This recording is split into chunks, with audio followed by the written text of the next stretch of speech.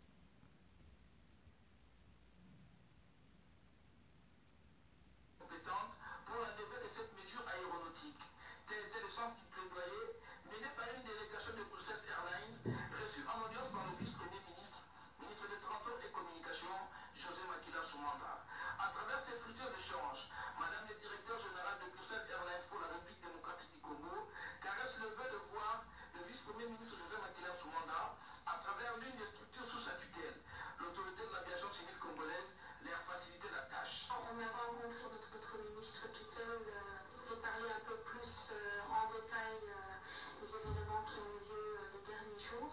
La compagnie Brussels Airlines a été informée, indépendamment de sa volonté de réduire les fréquences de 7 à 4.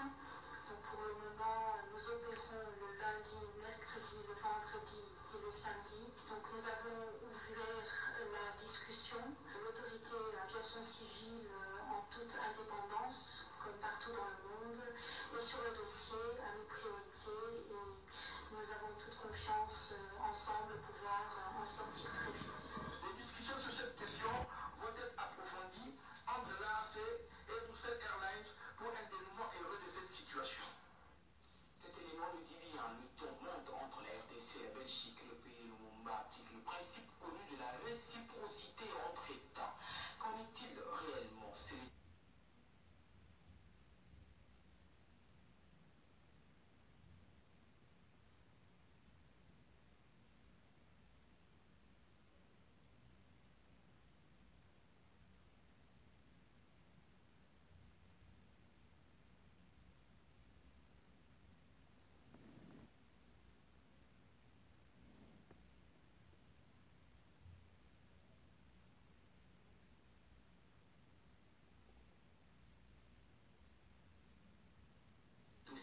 Dossiers de la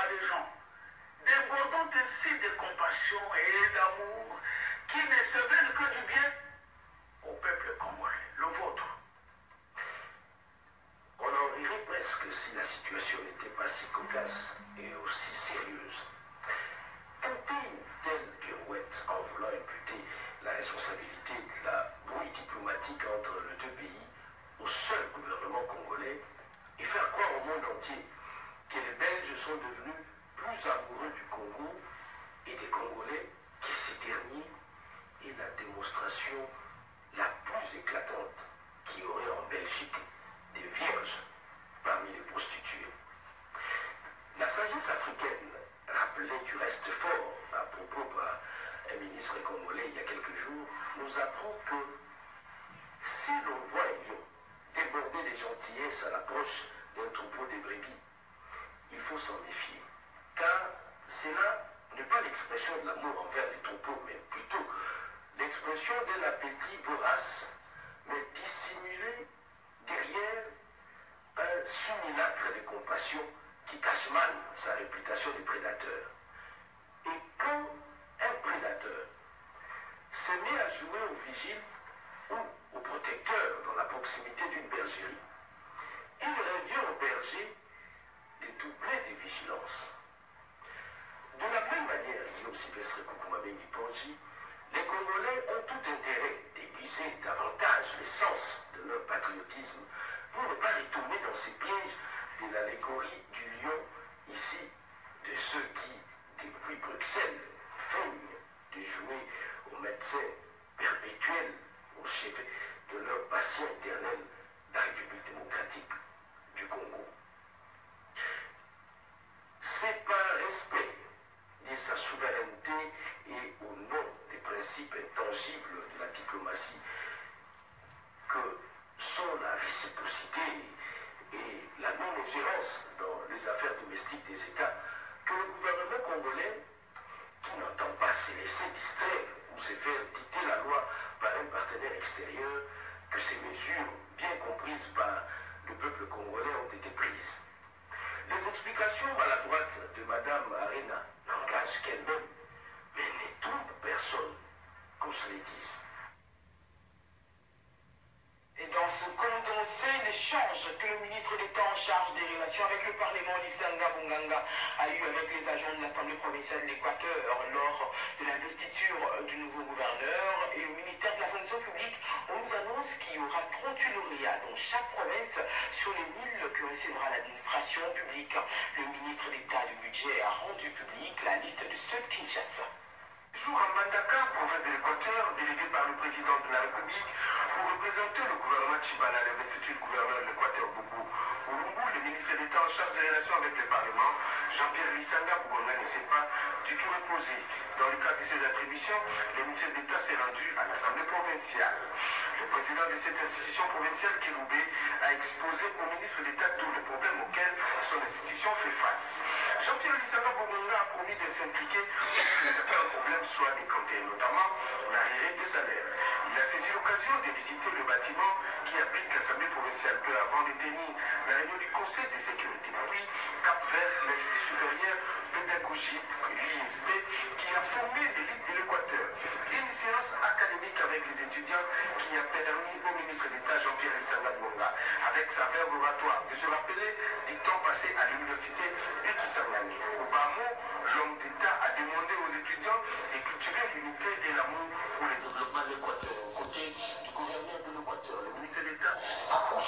quelques lignes dans les livrets d'or de l'ISP et un entretien avec le responsable de la MONUSCO a bouclé cette tournée. Sur les 7961 candidats testés, 38 seulement ont réussi. Ce concours de recrutement à la fonction publique s'est déroulé dans trois sites à Kinshasa, notamment l'Institut supérieur de commerce, l'Université protestante au Congo et l'Institut supérieur pédagogique de la Gombe. Selon le ministre d'État, ministre de la fonction publique Michel Bongongo, ce concours s'inscrit dans le cadre de la réforme et du rajeunissement de l'administration publique. Ce programme du gouvernement bénéficie de l'appui de la Banque mondiale en partenariat avec la SODEICO. Les lauréats seront soumis le deux prochains jours à des différentes formations administratives pendant deux mois, suivis de quatre mois de stage. Ce, en vue de leur permettre de maîtriser les statuts de l'agent des services publics de l'État. Le ministre d'État a, au terme de cette cérémonie, félicité tous les lauréats retenus dans les 26 provinces du pays. Et il tient par ailleurs à atteindre l'objectif du programme du gouvernement, celui d'avoir une administration publique d'élite et des jeunes évolués à la commission électorale nationale indépendante, le président Corneille Nanga a donné des éclaircissements sur le processus électoral au nouveau directeur pays du PNUD, Marcelin Moilante, bar reportage. C'est une visite de prise de contact que le nouveau directeur PNUD dans la République démocratique du Congo, M. Dominique Sam, a effectué ce 9 février 2018 au siège de la centrale électorale de la RDC. Le représentant du PNUD en RDC a félicité le président de la CENI, Corneille Nangae Belou, pour l'efficacité dont son institution a fait montre après avoir enrôlé plus de 46 millions de Congolais tout en les inscrivant sur les listes électorales. Dominique Sam a apprécié à juste titre l'optimisme qu'affiche le management de la CENI quant à la prise en charge des activités post-révision du fichier électoral. Le président de la CENI, Corneille Nanga, tout en recevant avec enthousiasme les encouragements émanant du numéro 1 du PNUD de RDC, profité de l'occasion pour solliciter la grande collaboration du PNUD pour la concrétisation du basket fund qui alimente le projet d'appui au cycle électoral République démocratique du Congo, PASEC. Le président de la CENI a convié le nouveau directeur PNUD dans le deuxième temps fort de la journée à la visite des locaux abritant le Centre national de traitement qui venait d'acquérir des serveurs supplémentaires. Question d'accélérer le travail de traitement et de consolidation de données qui débouchera à la détection des doublons. C'est aux alentours de 11h45 minutes que le nouveau directeur PNUD, Dominique Sam, prenait congé de la principale institution chargée des élections en RDC. Et sachez aussi que la population de Kindou est sensibilisée sur l'usage de la machine à voter, une action du vice-président de la CENI, Norbert Bassengeji, qui leur a également parlé de la loi et du calendrier électoral Lopez Kakuba. Le 9 février 2018, au cercle SNCC de Kindou, le vice-président de la CENI, Norbert Basingezi Katintima, a procédé à la démonstration de la machine à voter, en présence du gouverneur de province, Maître Bikenge Moussimbi Jérôme, et des autres personnalités ainsi que des forces vives de Kindou. Le vice-président a signifié à l'auditoire que la machine à voter réduit le coût des élections et les temps de compilation. Norbert Basingezi Katintima a indiqué que le bulletin jaune, c'est pour l'initialisation de la machine le vert, c'est le début du vote et le rouge indique la clôture du vote. Comme partout ailleurs, le vice-président a expliqué les dates du calendrier électoral ainsi que ses contraintes. Dans peu de temps, vous arrivez à effectuer trois suffrages, trois votes, c'est vraiment extraordinaire. L'exercice euh, de cette euh, machine à voter que nous, nous considérons au moins que c'est comme une imprimante là. Les gens pensaient qu'avec la machine d'élection, il y aura tricherie, il y aura collaboration, il y aura les gens vont tricher, mais c'est le contraire de ce que nous venons de voir. On le montre facilement, d'ailleurs, ça nous apprend un peu de temps. Vous pouvez élire les trois candidats, président, député provincial et député national. Nous venons d'être édifiés par l'exposé de son Excellence le vice-président de la CENI. Ça vient de nous édifier. Nous comprenons que la machine électorale pas la, ce n'est pas la machine qui va élire, mais la machine va faciliter. Après Maniema, cap vers le Nord Kivu, où se poursuit la campagne de sensibilisation de la CENI sur le calendrier électoral, la loi électorale et les avantages de la machine à voter. Et dans ce même registre, le directeur de cabinet du chef de l'État en séjour de travail dans le Sud Kivu a parlé avec des cadres et des militants de la majorité présidentielle sur des questions politiques et électorales de l'heure.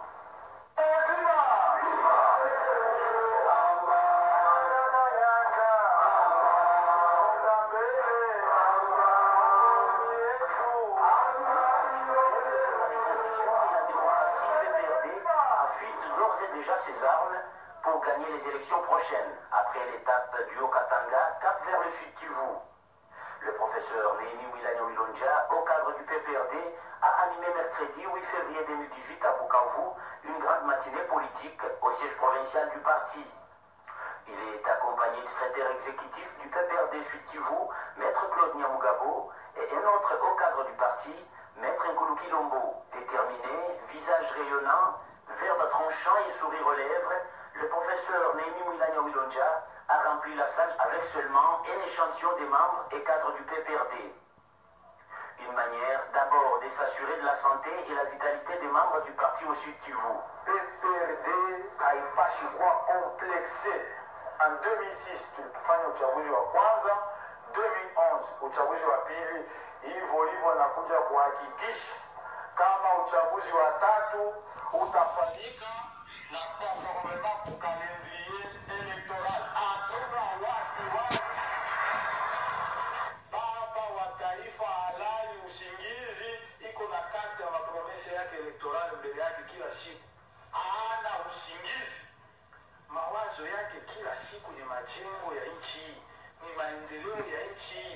Un seul message très rassurant. La mobilisation générale, l'organisation des élections et l'accompagnement de l'autorité morale Joseph Kabila Kabange. Je suis en train de certifier que nous allons gagner ces élections. Mais pourquoi? Pourquoi nous allons gagner ces élections? Parce que justement, c'est un problème de qualité de projet de société. Il n'y a que le PPRD et ses alliés de la majorité présidentielle qui ont un véritable projet de société pour réellement consolider la démocratie dans ce pays, pour reconstruire itakuwa uchaguzi des élections véritablement nationales sous l'autorité des institutions habilitées à les organiser et cela sans interférence, sans ingérence extérieure. Et cela est d'autant plus vrai, vous ne le savez peut-être pas, nous sommes aujourd'hui à près de 400 millions de dollars de financement propre par le gouvernement de la République du processus électoral. Et à partir de ce mois de janvier jusqu'à euh, la tenue des élections, nous avons un engagement de 40 à 50 millions de dollars par mois, euh, par mois, n'est-ce pas, de manière à ce que ces élections puissent être tenues. Et je vous dis que ces engagements seront bel et bien tenus. Parce que. Convaincu que pour triompher dans la démocratie, il faut être nombreux et unis, le professeur Némi Wilanya Wilonja a conféré également avec le représentant provinciaux des partis membres de la majorité présidentielle. C'est ici qu'il a dévoilé les mots d'ordre de l'autorité morale Joseph Kabila Kabange en sollicitant l'appui et le dynamisme de tous les partisans en cette période cruciale. Je voudrais vous rassurer que le mot d'ordre pour le moment de l'autorité morale de la majorité présidentielle, c'est la mobilisation générale, n'est-ce pas, pour les élections. La mobilisation générale pour les élections. Et entre maintenant et la tenue des élections, nous avons des devoirs à accomplir. Le premier devoir, c'est le passage en revue au niveau de chaque parti. Son regard à l'horloge électorale, le porte-étendard du PPRD Sud Kivu, Maître Claude Nyamugabo, estime qu'il est plus que temps de soutenir les chefs de l'État Joseph Kabila Kabange, car la bataille pour la première force politique de la majorité présidentielle et ses alliés a déjà commencé. Nous sommes la majorité du président Kabila et que tout est mis en œuvre pour que le Sud Kivu démontre que c'est une province du chef de l'État, une province rangée derrière le chef de l'État, le chef de la majorité, et nous mettons tout en œuvre pour que les élections qui seront organisées soient gagnées par la majorité présidentielle. Ce véritable test de validité membres du PPRD en particulier et de la majorité présidentielle en général au Sud est un franc succès succès à l'honneur de Joseph Kabila Kabange, initiateur du PPRD et autorité morale de la majorité présidentielle. Et à Bandaka, province de l'Équateur, les militants du PPRD ont été sensibilisés sur les enjeux politiques de l'heure. C'est là au cours du café politique animé par une délégation du secrétariat général de cette formation politique conduite par Julien Malikidogo. C'est une mission d'itinérance qu'effectue Némi Wilonja, directeur des cabinets du chef de l'État dans la province du Sud Kivu. Ils ont échangé jeudi 8 février 2018 à Bukavu avec le gouverneur des provinces Claude Nyamugabo et les députés provinciaux. Au cours de cette réunion d'orientation et de prise de contact, l'envoyé spécial du chef de l'État, Némi Milano Wilonja, a réitéré au nouveau gouverneur récemment élu et aux élus provinciaux l'engagement du président de la République, Joseph Kabila Kabange, d'accompagner le Sud Kivu dans sa phase de stabilisation et son développement. Il y a un nouveau gouverneur qui a été élu dans la province depuis quelques mois. Le chef de l'État n'a pas encore visité la province. De m'envoyer pour venir déjà euh, non seulement lui communiquer ses félicitations, mais également lui assurer de tout son soutien. Tout son soutien parce que le chef de l'État a annoncé une série de projets de développement dans cette province et euh, ces nouveaux leaderships devra être le poste avancé justement dans la mise en œuvre de ces différents projets euh, d'infrastructures euh, routières, sanitaires, et que sais-je encore. Je pense que en sus de ça, vous avez appris qu'il y a des opérations militaires qui se déroulent au sud de la province pour pacifier totalement cette partie et afin de relancer encore une fois d'autres projets qui étaient déjà en vue de ce côté-là, et cela dans différents domaines, euh, infrastructures routières et autres. Et ici, nous sommes venus apporter aussi le soutien du chef de l'État à ces opérations-là. Ce soutien, nous l'apportons à l'autorité politico-administrative, mais nous l'apportons aussi au commandement des opérations que nous allons rencontrer dans. Et la grande nouvelle que je suis venu annoncer, c'est que d'ici la fin de cette semaine, il y aura la signature du contrat avec euh, Sino Hydro. Le financement est déjà trouvé des travaux de cette route. Et ces travaux se feront nuit et jour, de telle sorte que d'ici la fin de l'année, ça sera une réalité. Des travaux exécutés par l'Agence congolaise des grands travaux en collaboration avec l'entreprise chinoise Sino Hydro. Au total, c'est 135 km pour arriver à Ouvira. Alors, le premier lot était de 5 premiers kilomètres. Le deuxième lot sera de 50 au deuxième kilomètre. Ça fait 50 du PK5 jusqu'au PK55. Ça fait 50 km qui restent à travailler. Euh, cette semaine, ils sont en train de fignoler pour le contrat entre Sino Hydro 14 et la CGT parce que le financement est déjà disponible pour commencer les travaux. Confiant et optimiste quant à l'avenir du Sud Kivu, le gouverneur Claude Nyamugabo non seulement sur la mobilisation des ressources locales, mais aussi cet appui du président de la République Joseph Kabila Kabange pour redonner sourire à la population sud-kivusienne. Moi, je suis disciple du président Kabila. Et il a voulu que je vienne diriger la province du Sud Kivu. Et je suis heureux de constater que même les travaux qui autrefois étaient arrêtés sont en train de répondre pendant mon mandat. Le chef de l'État dit ce qu'il fait et il fait ce qu'il dit. Il a promis un stade pour la jeunesse du Sud Kivu et bien le stade est en pleine construction. La visite se poursuit jusque dans les fins fonds de la province. Direction Ouvira, à 130 km de la ville de Bukavu. C'est finalement tard dans la soirée que la délégation a foulé les sols d'Ouvira, où une foule immense en liesse l'attendait.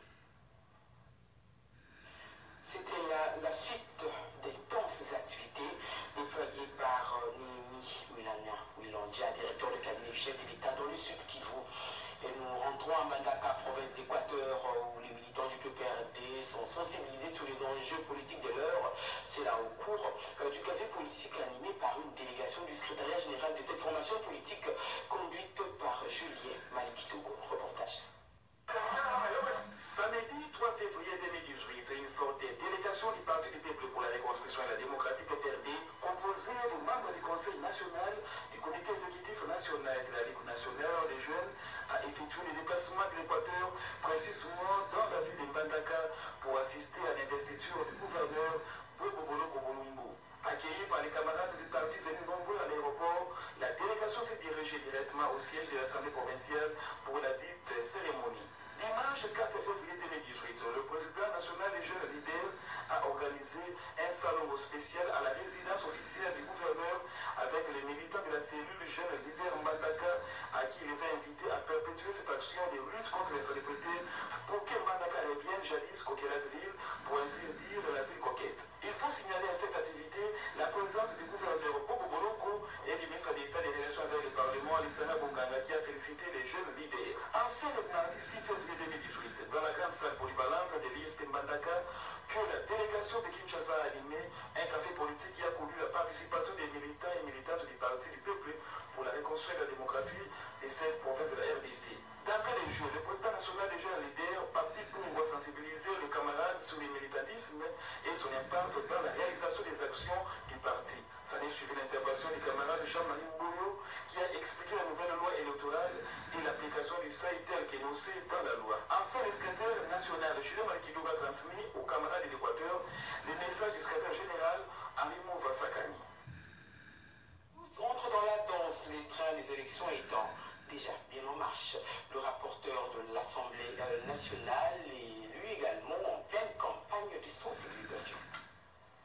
Jean-Pierre Chimangabwana, rapporteur adjoint de l'Assemblée nationale, revient de Chikapa après y avoir passé un long séjour. En véritable rassembleur des enfants de Chikapa, Jean-Pierre Chimangabwana a été chaleureusement accueilli, vous vous en doutez bien, à sa descente d'avion par la population de Chikapa dans toute sa diversité. Et c'est malgré la pluie qui a arrosé la ville de Chikapa ce jour-là depuis tôt le matin, de l'aéroport national de Chikapa jusqu'à la paroisse Saint-Joseph Boudikadidi de la commune de Mabondo, appelé Jean-Pierre Chimangabwana, a passé un moment de communion inoubliable avec ses innombrables sympathisantes et sympathisants, l'obligeant de s'arrêter à des différents coins de la ville à trois colonnes pour leur parler. Au cours de ces carnavals qui a bravé la force de Madame la Pluie, l'honorable Jean-Pierre Chimangabwana s'est adressé à la population de Chikapa, à la fois à l'aéroport, à la place de 3Z et à la paroisse Saint-Joseph, à l'Uniaka, base incontournable du député, le mieux élu de Chikapa depuis 2006. C'est dans cette ambiance de parfaite communion avec sa base naturelle que Jean-Pierre Chimangabwana s'est fait enrôler. Je suis venu apporter message de paix, un message de réconciliation. Ce peuple était pétri, ce peuple a été euh, vandalisé, égorgé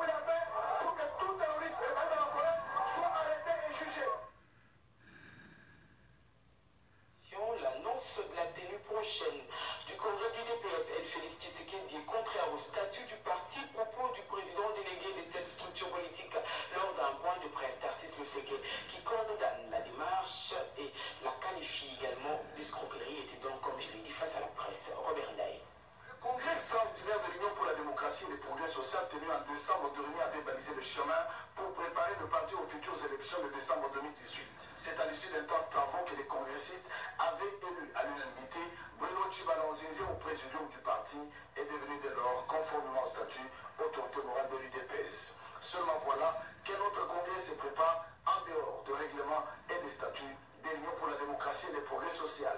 Cette annonce a suscité des débats au sein de la classe politique et sur l'instruction personnelle de l'autorité morale de l'Union pour la démocratie et le progrès social, Bruno le président délégué Tarsis Loseki a réagi aux propos de Jean-Marc Kabon lors d'une conférence de presse tenue ce vendredi à Kinshasa. Tarsis Loseki a dénoncé ce qu'il qualifie d'escroquerie politique de la part du secrétaire général de l'UDPS, El Félix Tshisekedi. Article 26 des statuts de l'UDPS à l'appui, Tarsis Loseki a précisé. Pour la direction nationale de l'Union pour la démocratie et le progrès social, tout congrès convoqué par Jean-Marc Kabon est illégale et viole les statuts de ce parti. Tassis Loseke l'a précisé devant le journaliste. Tout congrès convoqué par Jean-Marc Kabound est illégal et viole nos statuts, spécialement l'article 26 précité. L'objectif poursuivi par la convocation du congrès d'une certaine UDPS familiale que vous avez suivi dans la presse est d'adouber le fils à la place du père. Toute succession dynastique à la tête de l'UDPS est inadmissible. Évoquant l'affaire Moubaké et la primature, Tassis Loseke a éclairé l'opinion sur la prétendue lettre de Tshisekedi désignant un Premier ministre après la signature de l'accord de la Saint-Sylvestre. Il en appelle aux acteurs politiques de privilégier les textes et l'unité du parti.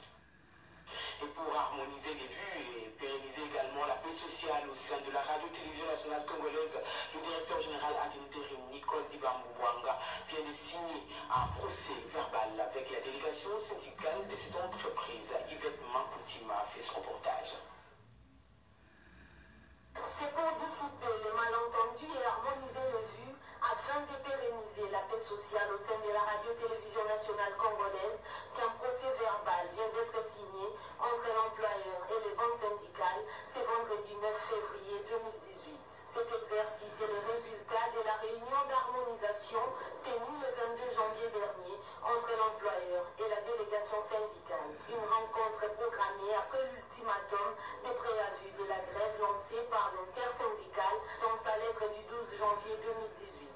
À cette occasion, le directeur général ad intérim de la radio-télévision nationale congolaise, Nicole Dimbambu Bouanga, a répondu aux différentes préoccupations soulevées dans la dite correspondance. C'est en vue de restaurer le climat de sérénité et de concorde entre les deux parties. Ces dernières conviennent à un partenariat sincère.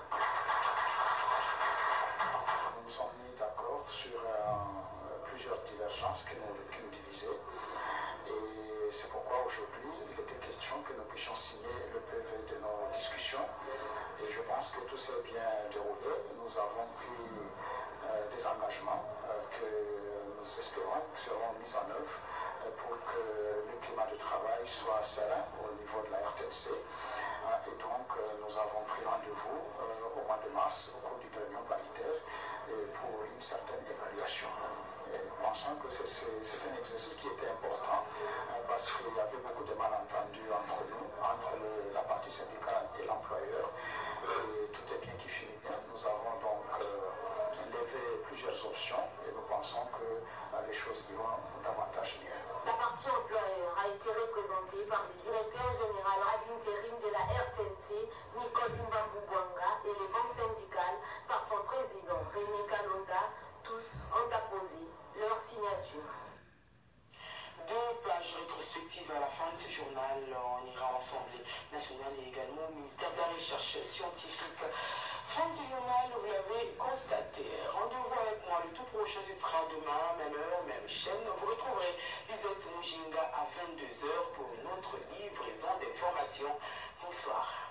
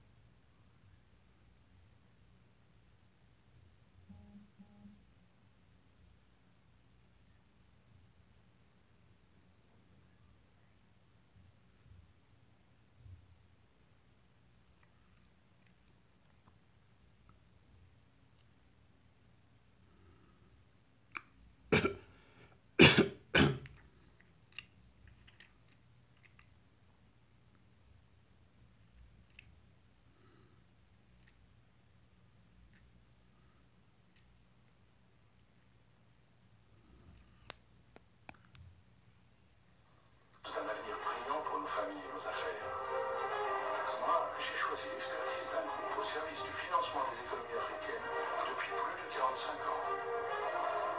Par ses solutions adaptées, il soutient mes projets de vie. Avec ses 2000 collaborateurs, le groupe Bank rend unique chaque étape de mon expérience client.